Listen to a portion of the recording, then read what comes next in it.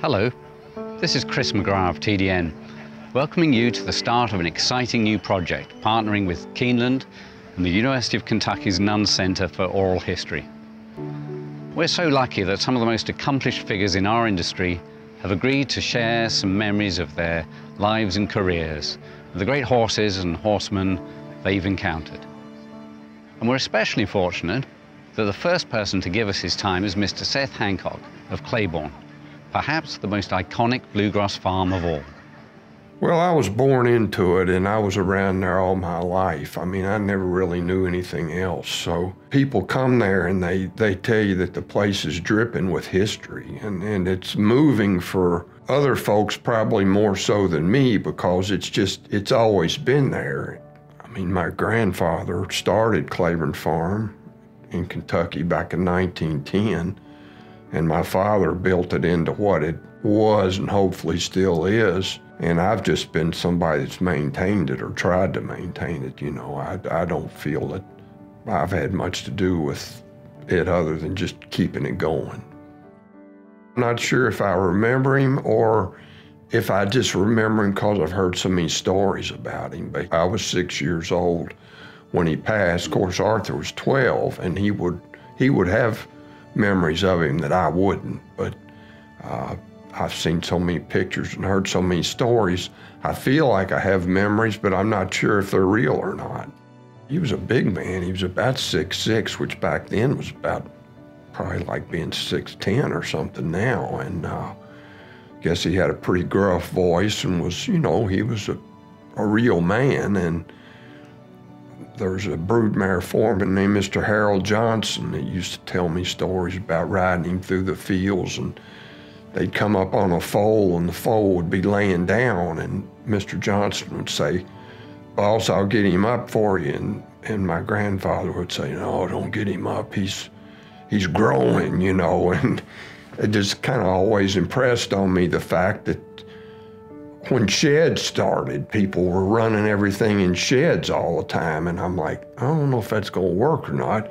My grandfather said they needed to lay down and rest to grow. So, you know, that's just something that I remember that story about him. Seth's father, Bull, became one of the most influential breeders in the history of the thoroughbred. The first job I ever had was opening gates for him when he'd ride through the mares and foals in the late afternoon. I got two cents a gate. That was, you know, hell, I could get 10 or 12 gates, maybe earn a quarter. That's five packages of baseball cards. That's a big deal. And, uh, but it, it was never, you know, son, look at this, look at that, look at this, look at that. I guess when I graduated from college and I went in the Army and I got out in uh, December of 71, and he had a program set up for me, kind of a two year apprenticeship. And then, of course, September the next year, he passed. So that kind of went out the window. And I, I was into the apprenticeship. I'd done stage one, which was work with a broodmare foreman for the breeding season of 72. And stage two was uh, go with the yearling manager and break all the yearlings and get everybody weaned and settled. And then the third year was going to be riding with the farm manager. But uh, was, we were breaking the yearlings and you know, my father passed, so that, that program went out the window. I was ready to learn, and I, I'd hoped that I was learning, and he got, I put him on an airplane over here in July to go to Saratoga, and he went up there, and then he went grouse hunting, and he got sick over there, and he went straight to Nashville, and he was operated on the middle of August and he was diagnosed with cancer and he died 14th day of September. And, um, you know, I, it's like, I guess if you, you got somebody in a boat and you throw them overboard, they don't want to die, so they learn how to swim. And, uh, you know, I mean, I, I knew all the guys on the farm. Hell, I'd been around there ever since I was a kid. And, I had a good rapport with all of them because I'd worked beside many of them, for a long time. It's easy to go to them and say, hey, it's, this is what we got to do. We're going to sell the, these horses we're breaking, they're going to New York. We're going to sell them. All the race horses are going to be sold. We're going to sell yearlings next summer. And, you know, you just you just go. And one thing about being young, I guess in a lot of ways it's a disadvantage, but in other ways it's an advantage because you don't ever think you're going to fail. You know, I think if you're 40 and you make a decision, you stop and consider what happens if this doesn't work. When you're 23 and you make a decision, there's no thought that it ain't going to work because you just figure, hey, I, I'm bulletproof. Seth's older brother Arthur has meanwhile brought his own immense distinction to the family's story after deciding to establish a farm of his own. In fact, he became the first Hancock to raise a Kentucky Derby winner, and has since added another two. Both Arthur and Seth are gratified by the way things have worked out for each other, but Arthur had his troubles as a young man, and Seth, witnessing his brother's clashes with the older generation, resolved to keep on the straight and narrow.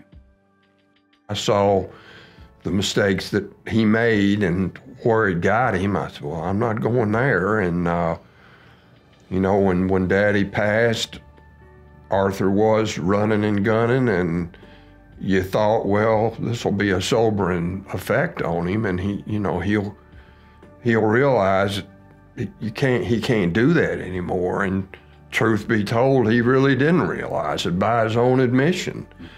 And um, we were going along, but he had his area of responsibility. I had mine and I guess we were doing all right, but we also had an advisory committee that we had to run big decisions by, which was fine with me. I mean, I was 23. Hell, I certainly didn't have all the answers, but he was 29. I guess he figured he did have all the answers, and he didn't want to do it. And he made a couple of decisions that uh, he didn't run by him, and they kind of called him on them, and he, in short order, said, I've had enough. I'm done and he left, and that was that. The farm's young new president made an immediate mark in the record syndication of the champion two year old, a horse by the name of Secretariat. The reason he came to the farm was because of a long standing relationship between my father and Mr. Chenery, and then when he got sick, between my father and, and Miss Tweedy. Mr. Perry called me when Mr. Chenery died and he said, Seth, uh, Chris Chenery died. And I said, Well, I'm sorry to hear about that. And he said, You're going to have to come over here for the funeral. And I said, What do you mean? I didn't even know the man, Mr. Perry. And he said, No, you need to come over here because uh, the state is probably going to have to sell some assets to pay for estate taxes, and one of them's liable to be Secretariat. Champion two year old, he's got a lot of value, and that may be something they're going to do. And I said, Well, if you think I need to come over there, that's what I'll do. So I flew over there. He said, Now look, you be sure and tell Penny that you're ready, willing, and able to syndicate the horse if, uh, you know, if that's something that they think they might want to do. Well, hell, about a month later, probably six weeks later, she called and said, I'm coming to Lexington with my lawyer, and we want to get together with you and Gail Money and talk about syndicating Secretariat. And I said, Yeah, that's great. We went to the coach house over there and we talked about it. And I had a cocktail napkin there and a pen. And I wrote down the details on the co- cocktail napkin number of shares, price per share, how many they were keeping, you know, just the structure of the thing. And, uh, I mean, I, but I was being coached up. I had been coached up by Mr. Perry Arthur and I syndicated uh, Reasoning together the fall before. So that was kind of a joint effort, but this was, you know, this was the first one on my own. And there again, I, if I if he had rolled craps and he had had a bad three-year-old year, it probably would have been the end for me. But I never thought that. I just figured, well, heck, he's going to go on and do whatever. And uh, but the timing of it with Mr. Chenery's death uh, made that necessary for their estate. And I suppose if I hadn't done it, they'd have gone on to the next person. But but I had first swing at it, and you know, back then there really were only three farms to speak of. I mean, there was Gainesway, there was Spendthrift, and there was Claiborne. Hell, now there's God knows how many. I mean, the competition for these stallions now is a war.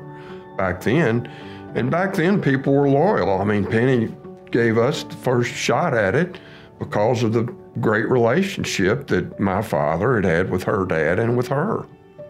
I had no idea that he could possibly win the Triple Crown. I mean, at that time, it hadn't been won in 25 years, and people were saying it would never be won again.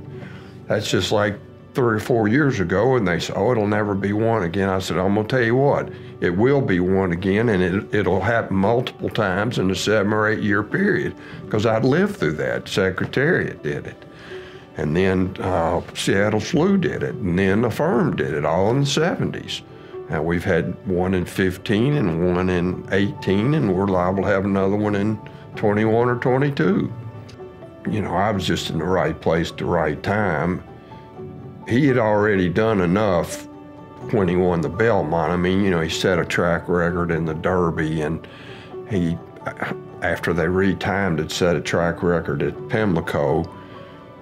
So the cake was pretty well baked, but Lord knows that was some mighty sweet icing on top of it. And to be sitting there watching it, it it's almost like this can't be.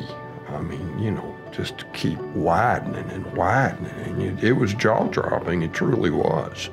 And then you look at the teletimer and see how fast he ran. It's like, whew, I can't believe what I just saw.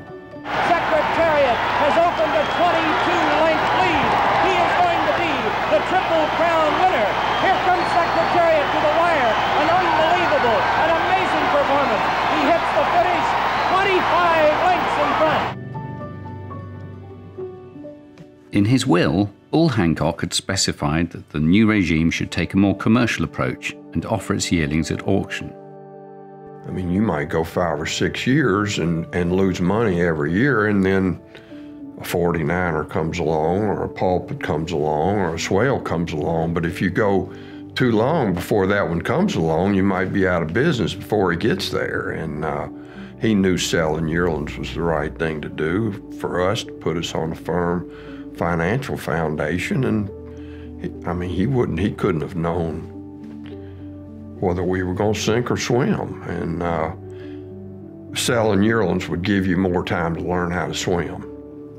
Got lucky right off the bat, and Secretariat came in there, and um, you know, and then we were able to kind of keep adding some stallions and do okay. And then, of course, got Danzig Mr. Prospector came there in 80, and they carried us for a long, long time. And about the time they were kind of getting old and here comes Pulpit, and about the time he was getting old, here comes War Front, and now he's getting old, and hopefully run happy, or somebody else is going to pick up the ball and run with it.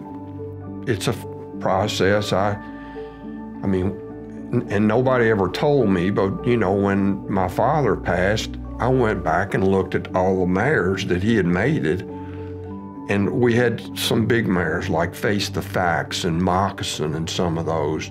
And he'd been breeding them to Round Table, who was about 15, two and a half, maybe 15, three, not a big horse. So in my mind at the time, I thought, well, I see what he's doing here. He's trying to balance the athlete. He don't want one too big, so he's not going to breed Moccasin to a big stallion. And so that's what he's trying to do. Well, when we got unbridled, he was a great big horse. And I thought, well, I'll breed him to some small mares. Didn't work. Not at all. Claiborne has long achieved unusual international influence. But while Bull Hancock imported several turf stallions from overseas, his son stresses how dirt blood has also invigorated the European gene pool. To me, that, that's a laydown if you've got a good dirt horse and he's got speed, he, he'll he'll get offspring that'll run on anything. Now, if you've got a turf horse and he doesn't have any speed, don't, don't think you're going to get a good dirt horse by him because you're not, uh, in my opinion. And you know, I know turf racing's become a popular thing in this country, but I hope the hell that the people that are going to try to keep the breed going don't forget about good old fashioned dirt because that's where you, that's the proving ground, in my opinion. One of the farm's most potent international stallions was Danzig, though his arrival was largely thanks to his trainer, Woody Stephens. If it weren't for Woody Stephens, I went up there and he called me. He was going to run a filly for the farm. He said, uh, got her in. Uh, she's in Thursday. And I said, well, I'll, you know, look forward to seeing how she does. And he said, probably need to come up here. And I said, man, I don't know. It's a long trip. And he said, no. He said, I've got uh, Della Rose entered for Henry. They split the race. He's going to be here. You need to come up here and talk to him about Danzig. And I said, all right, I'll do it. So Henryk and Woody and I met in the trustees' room. Of course, Henryk always had a lot of stories. He, you know, he wanted to tell, and he told his stories, and he said, you know, how great Danzig was, and he was thinking he might stand him in New York, and I said, well, it'd be a tough sell in Kentucky because he never won a stake. He only ran three times, and uh, he, Woody said, said you, you know, you better take this horse. He's the fastest horse I ever trained. And so Henryk kept talking. I said, Henryk, I can't come close to that kind of money. And Woody looked at me and said, What can you do, Seth? And I said, I probably can sell 40 shares for, I think it was 80,000 a share. And Henryk stuck out his hand. He said, You got a deal. And that was that. Greatest trainer that ever lived, in my opinion. He taught me more than anybody. I mean, he, and he took time to teach me. I mean, you know, my father had the race horses with him when he passed. Of course, we were going to sell them all, but I was around, and whether it was our horse or another horse, Woody said, Let me show you this, you know, a tendon or puffy ankle or a buck shin or whatever. And uh, not only was he somebody that was a mentor to me, he was also a really good friend. And I'd have never made it without him. The horse who slaked Claiborne's thirst for a Kentucky Derby winner acquired his name in picturesque circumstances. They went looking for him while we were breaking yearlings. He was broken right there at the farm, and he was turned out in a paddock. And they went looking for him one morning. It was foggy, and they couldn't find him. They thought he must have jumped the fence or something. So they were, where in the hell does, you know, where's the Seattle Slew Colt? We can't find him. So they said, well, you know, where else he got to be in there? So they went down in a swale, and there he laid down there to sleep. And they'd called and hollered, and he said, hell with him, I'm going to lay here and sleep. And that's the kind of horse he was. Nothing bothered him. You know, he had a tremendous attitude and a tremendous mind, and, you know, the hoops and the hollers and all of Derby Day wouldn't have meant anything to him. It was just, hey, let's get, get it on. And he ran a great race.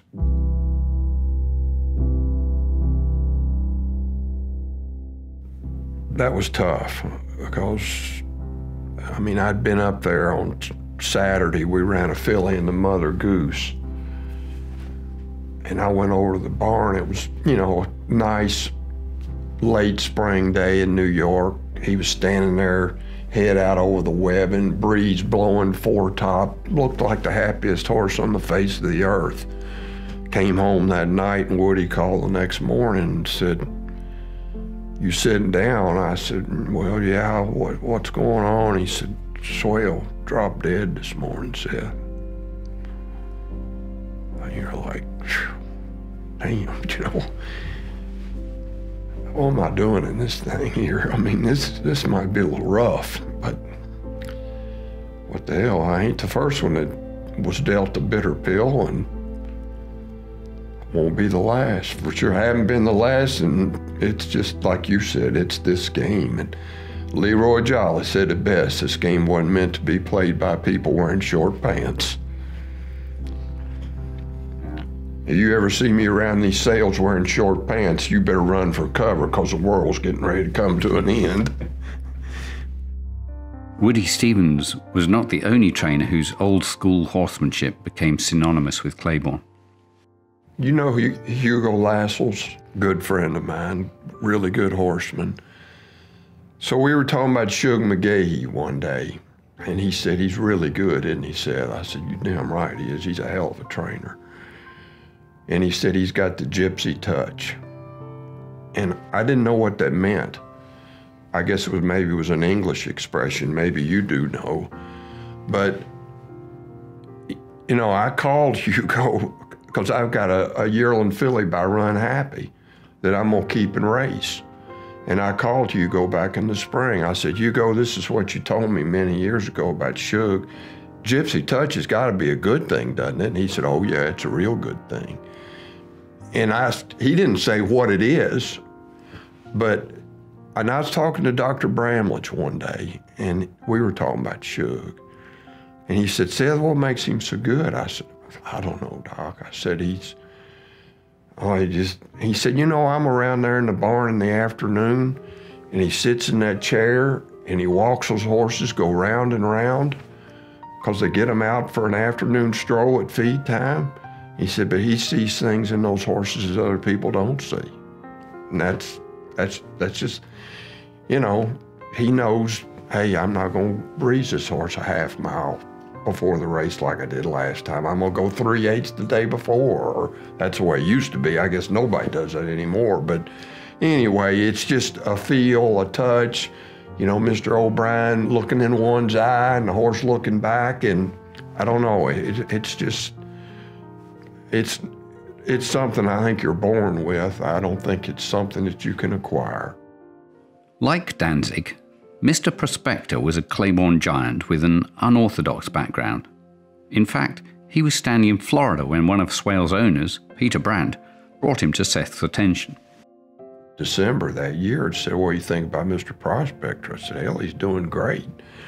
And he said, I've become friends with Mr. Savin and he's getting a lot of pressure regarding this horse and he's an elderly gentleman and he don't like the pressure. And I said, well, you know, that's pretty good pressure to have on you. And he said, Seth, he, he's only got six shares left in the horse.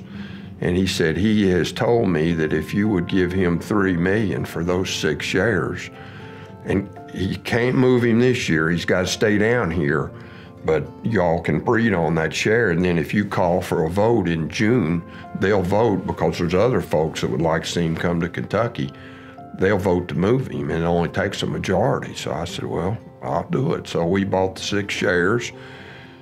Ed Cox bought one, Peter bought one, Mr. Phipps bought one, I think Christiana bought one, Cherry Valley bought one. I can't remember who bought the sixth one, but anyway, they called for the vote in June and it was voted 39 to 1 to move him up here. But it was not my doings, it was all Peter Brant. He's the one told me what to do, how to do it. I could follow those instructions. So that's what we did. Well, any form of athletics that you fool with, speeds is a precious commodity, and he had it in abundance, and he threw it into his offspring.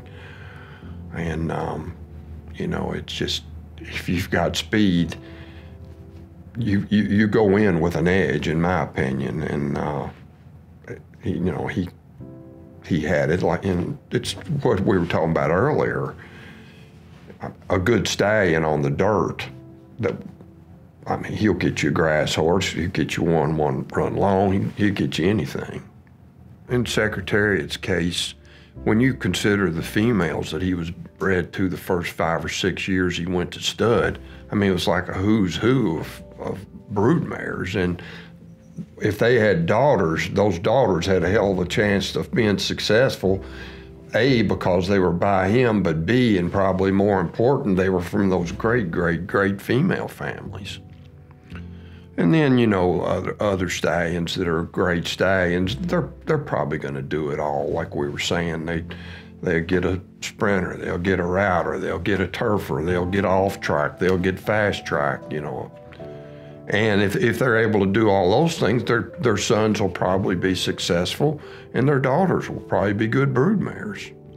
I mean, there's been a many a day I walk down the breeding shed in late May and Flatter might come in or Run Happy might come in. And, you know, you would have been there in February, March, early April. They walk in there prancing and they're ready to go and they jump up there and breed and it's great and it's May, and they walk in there and their heads down. And, uh, you know, I, I mean, I'm thinking to myself, well, now, if I was a horse trainer and I knew this horse's personality and he had his head down like that, I wouldn't enter him in a race. So why am I going to breed this horse to 175 mares when he's telling me, hey, I've had 130 this year and that's enough? I mean, you know, it just doesn't make any sense to me. Uh, and the one thing about it, I mean, old Flatter's still out there, as arthritic he is in his knees, and he's, what, 20 years old, and he's still going strong. We talked about Mr. Prospector and Danzig. They were still breeding mares, and they were 26 and 27. So, you know, if ever I'm lucky enough to get a good one, by God, I want to preserve him for as long as I can, because they are damn hard to come by. As market tastes change, so Claiborne has had to adjust. But there are some principles that abide. Claiborne itself has got about 28 brood mares. They own 30 mares with uh, Miss Dilschneider. So if you're going to keep those numbers at that level, it's a continuing calling process. So if you know what you're doing when you're calling, you know, hopefully you're keeping the good ones and selling the bad ones because if you don't, you're going out of business. And if a good horse does come from the Claiborne Dilschneider partnership or the Claiborne partnership, it's probably been a garden that's been cultivated and weeded and watered and had everything bred to the best stallions you can breed them to. You know, that's that's all the people at Claiborne Farm do. I mean, we're not in the restaurant business. We don't play the stock market. We play the horses and not betting on them, but you know, betting our reputation on them for sure. And I mean, it's what I, you know, we, we live on the farm. We're, we're there 24 7. There's no absentee ownership to it. And that's what I always did. And you know what? Looks like hopefully what Walker, my son's going to do. Having made such success of his own tenure, Seth decided that his own son, Walker, should also be given responsibility when still a young man. People when I made that decision, they said, Seth, you sure you know what you're doing? He's awful young. I said, you know, I don't want to listen to that young crap. I said, he's a year older than I was when I started. Plus, I will still be, be around, and my father wasn't. And uh, he doesn't rely on me much. He doesn't need to because he knows what he's doing. But I think in the back of his mind, knowing, well, you know, if something happens here, I can always go ask him what I need to do, then I think that's probably comforting. At least I hope it is.